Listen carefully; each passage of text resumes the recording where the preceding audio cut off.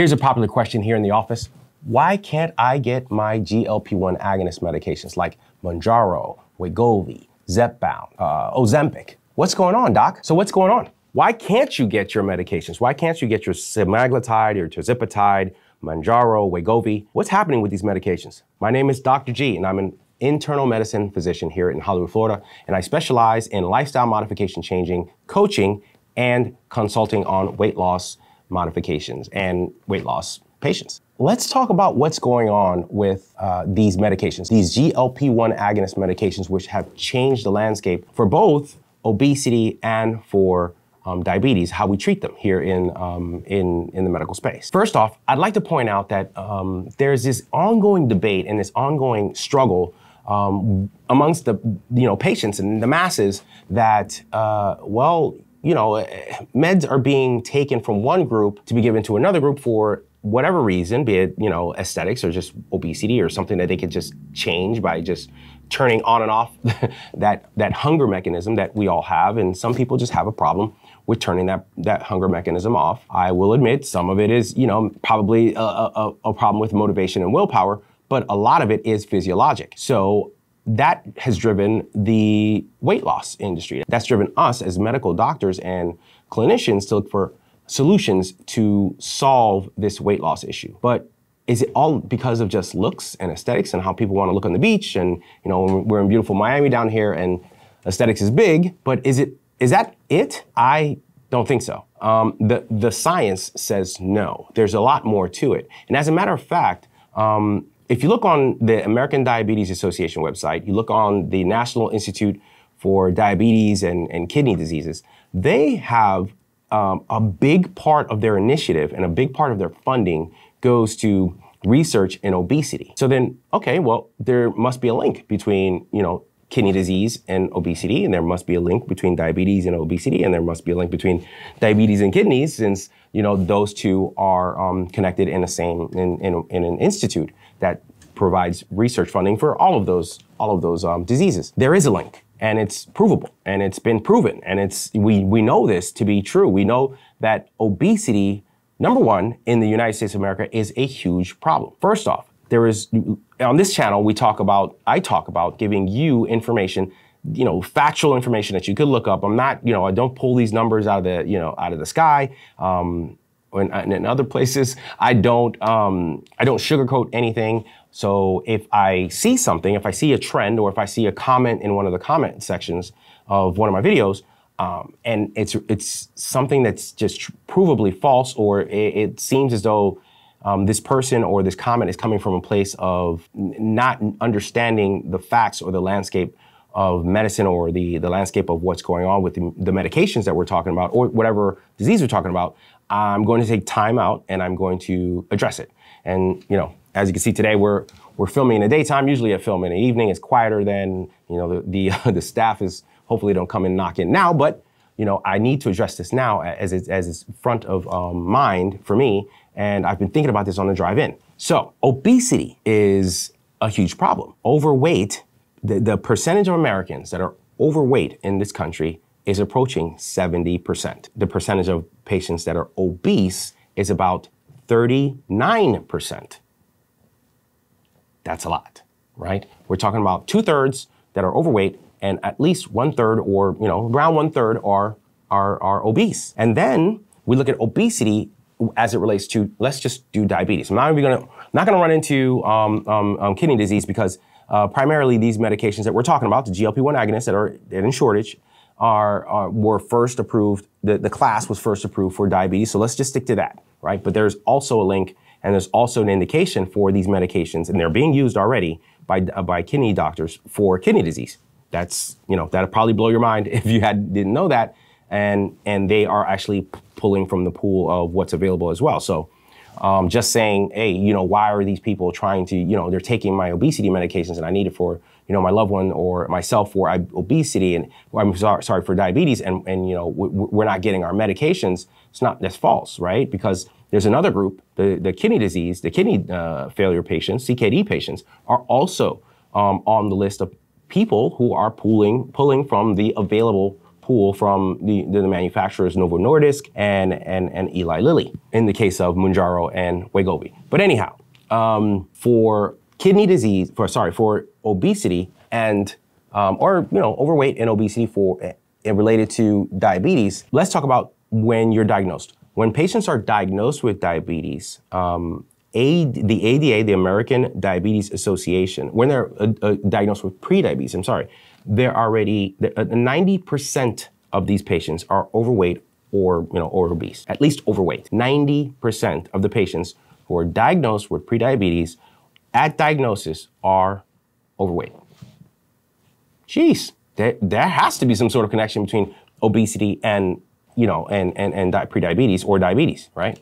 And for people who have been diagnosed and are chronically diagnosed with uh, um, uh, uh, diabetes, you know, walking around more than, you know, three months, they already know, doctors already told them, they've probably already started treatment, um, been told all the, the, risk factors and everything. Those patients are still at least uh, about 60% of those patients, 65% of those patients are still overweight. Classified overweight, 27% BMI or greater, and obese is 30% or greater. So again, 90% of the patients who are diagnosed at diagnosis of prediabetes are obese. And then those who have already been diagnosed with, with, uh, with diabetes or prediabetes and have been presumably treated or told, you know, lifestyle modifications and everything they need to do, they're still overweight and they're still, you know, pre-diabetic or diabetic. That's those, you know, 60% of those people. That's, that's huge. That's big. The, the obesity appears to be a major factor um, in pushing that disease process. Again, uh, we are you know, the, the, we, we are talking about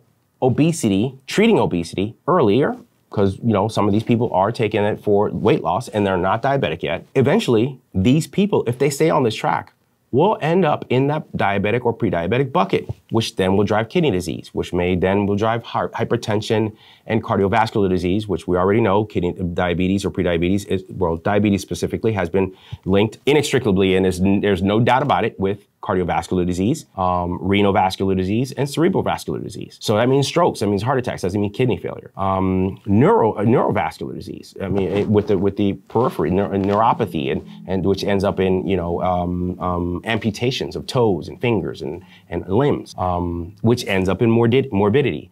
And all of those things cause and push mortality. So not only are people getting sicker um, and having events, which puts stress on the healthcare in healthcare system here in the United States, which we know doesn't need any more stress. Uh, it also causes people to have terrible, terrible lives. you know, people have you know problems with you know just doing you know enjoying their life because they have these you know these diseases and these complications associated with the disease. Not to mention they die earlier than they should. So I have a problem when people when I see comments or I see people come or people come to me directly and they say, "Hey, doc, you know, you're pushing this medication and it's it's taking um, uh, medications away from you know from you know a family member or myself." And I don't get it because you're giving it or you're you're pushing it or you're you're teaching that the GLP-1 agonist medications should be used for obesity. First of all, it's FDA approved for obesity.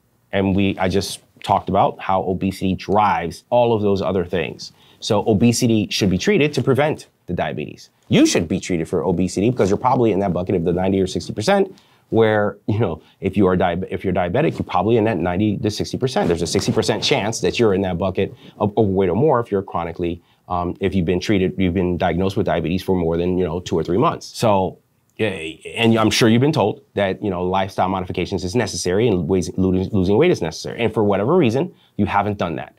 Um, hopefully, it's because you know you just can't get past that that food noise. You can't get yourself to to quiet that down, to get your exercise together, get your nutrition together, and lose the weight. And that is exactly what the GLP-1 agonists do for people who are obese. They happen to be Mounjaro and um, Mounjaro and Ozempic happen to be very good, very good at glycemic control as well. Now there's a third player in the group, Saxenda, who is strictly weight loss.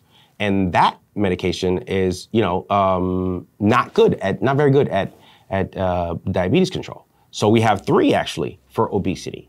We have um, Saxenda, which is liraglutide we have uh, Wegovy, which is semaglutide, and we have Zepbound, which is tirzepatide. So three have been FDA approved for the indication of obesity, greater than 30% with no no no comorbid diseases like that put you at high risk for for death, like you know hypercholesterolemia, hyper um, uh, dyslipidemia, um, renal disease, uh, heart disease, established heart disease, um, diabetes, of course, um, hypertension. These are all diseases associated with higher risk of, uh, of complications. And if you have a BMI of 27 or greater, also it is, re- is uh, recommended to uh, start a GLP-1 agonist or it's, it's indicated. Recommendations always lifestyle modifications. And that's why here at my office, I teach and I coach lifestyle modifications. I just wanted, I just wanted to get this on, you know, get this, this message out there. Um, it's, it's difficult. I get it. I get it. You're diabetic and you want very good control. You want your Mounjaro you want your um, you want your Ozempic if you need it, right? These medications should not be deprived from anybody. But it's it's it's it's problematic, and it's probably not true to say that the group that is taking the reason why you can't get the medication is because another group, which it has an indication that are obese or that are overweight with one of these conditions, um, are taking the medication away from you. Let's try to focus on what the real problem is. It's hard to say, right? The manufacturers of, of the two best medications for obesity and also apparently for for um, glucose control, um, Eli Lilly and Novo Nordisk, Novo Disc or Novo, Novo Nordisk, um, are have been cagey at best to let us know exactly what the supply chain problem is with the, the actual branded medication, the one that comes in the pen. Um, the the, band, the one that comes in the pen with the, the, the, actual name says across it emblazoned with the, the logo of the, of the company and the name Ozempic and the name Mounjaro. Those are in short supply. Um, even as, as myself, I go through, you go through your insurance, I have a patient here who's diabetic or clearly um, overweight, but let's talk, talk about the diabetics who would definitely benefit from this. Maybe they have a, you know, side effects with other medications or are uncontrolled on the other medications. And this medication, I believe, will help control their weight and also control the diabetes phenomenally. Um, I, we, we put the, we put the, uh, the order in. Uh, it's always a problem uh, to get, first off, to get the, the, the approval from the insurance companies because the approval the approval changes here in 2024 have changed in January. They've made, you know, significant changes as to the thing, the, the check off the list of the bureaucracy, the paperwork, and all the things that you know doctors have to check off. That patients have tried different medications, they have failed different medications. They really have this this this type of um, diabetes. They have these numbers, and we have to send all that in. It has to take it. It takes a long time if it gets approved. And let's say it does get approved. The approval goes back to the pharmacy, and now the pharmacy can't get it. So even if I did, um, you do get it approved. Let's say, you know, the, there's no issue with obesity and all that good stuff. We do get it approved. Finally, first off, there's a lot of red tape with your insurance to get it. We finally get it. Now the, the pharmacy can't get it. And the pharmacy can't get it because the manufacturer, the manufacturers are having a tough time keeping up with the demand. Now, I find it very hard to believe that a company companies like these are, you know, these are billion dollar companies. These are, you know, huge companies have been around. They've, they've hit on other medications in the past. These are, you know, these are, these are big boys, right? These are, these are big players in, in the industry. It's, I find it hard to believe that they would leave money on the table um, from a business standpoint. You know, let's separate the business from the medical, the medical part, the medical piece. But from a business standpoint, they have shareholders and they want to make money. That's what they're in business for. And um, I find it hard to believe that if they could they wouldn't make a, a, a gajillion vials or, or, or, pens to treat both the obesity crowd, because they're the ones who, who basically put the trials out there to get these things approved for that new indication, and treat the diabetes trial and uh, the, the diabetes bucket, and also treat the other buckets that are coming out. The heart disease that's going to be, you know, fully, fully FDA approved very shortly Kidney disease is getting pushed to be, to be approved very shortly. And they are now recruiting for trials for obesity in patients who have osteoarthritis. Arthritis, weight on the joints, causing pain, uh, more and more pain, causing patients to go to opioids. And we know we, you know, the country's moving to a position of, you know, taking more and more patients being more restrictive with opioids, thankfully. Um, and getting those things, getting those medications off the street, and weight loss. We, we, we, we teach that to everyone. And it's so hard to get the weight off because you, you can't do the workouts. You can't really work out very very much. Can't get very active because your knees hurt, your hips hurt. So we get the weight off of the hips by lose, using these medications. I'm thinking that's what's going they're going to try, and they're recruiting for that now. It's going to work.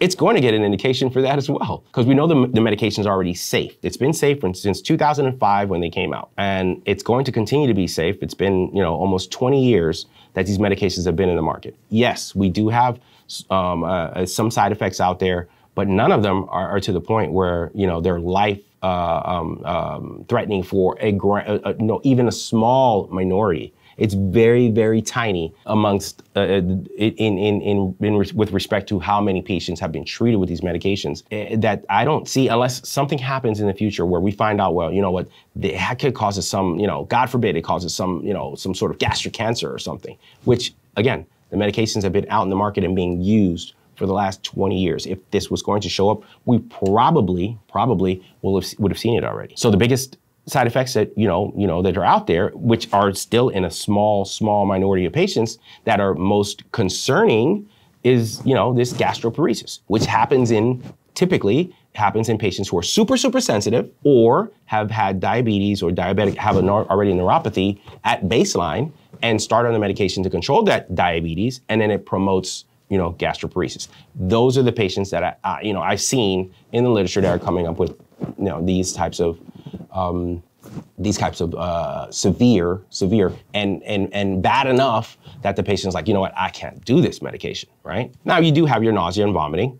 Um, I've seen that. Um, you know, I've seen that in the office here, and typically those patients, when coached again, not to overeat, do well, right? Not, you know, typically not, that's not a reason why most people will quit, right? So, in summary, um, I just wanted to put a little bit of, you know, just just chill everybody out. and, and, and, and it's not, you know, it's not specifically to any one person in the comment section. I just wanted to educate the whole, everybody who comes to my channel about this issue, right? I don't want, you know, the, you know, patients to be sitting across from each other um, and, and one has diabetes and the other one is obese and both are vying for this, or they both want the same medication, and one is looking at the other like, man, you are doing me dirty. Um, they're not right? Um, the medication is indicated for obesity. It's indicated for diabetes. We both deserve the medication. And you both deserve the education about the medication as to what it does, what is indicated for, what the side effect profile is,